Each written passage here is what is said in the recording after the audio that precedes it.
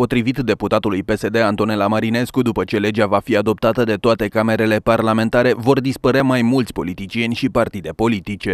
Așa mi se pare corect, normal. Am procedat și pentru primari, că la urma urmei sunt aleși locali și am făcut modificarea la 215 cu alegerea primarilor uh, cu votul nominal pur dintr-un singur tur. Nu eram de acord cu listele, pentru că niciodată, sincer recunosc, data trecută la alegeri, nu știu ce algoritm aveau de calcul, pentru că n-am reușit să-l înțeleg și uh, cred că 80% dintre noi, dintre parlamentari, suntem așa. Nu reușeam să înțelegem algoritmul de calcul. Pentru că în momentul în care va fi cu votul pur, uh, probabil vor uh, ori să dispară dintre, ori să dispară din ei și în anumite partide, o să dispară. Și deputatul PDL Constantin Chirilă este de părere că adoptarea noii legi va duce la curățirea clasei politice, dar în anumite condiții. Votul uninominal, dacă încet, încet va deveni un filtru corect și obiectiv și oamenii vor, îl vor folosi ca atare, pot să dea un produs politic bun.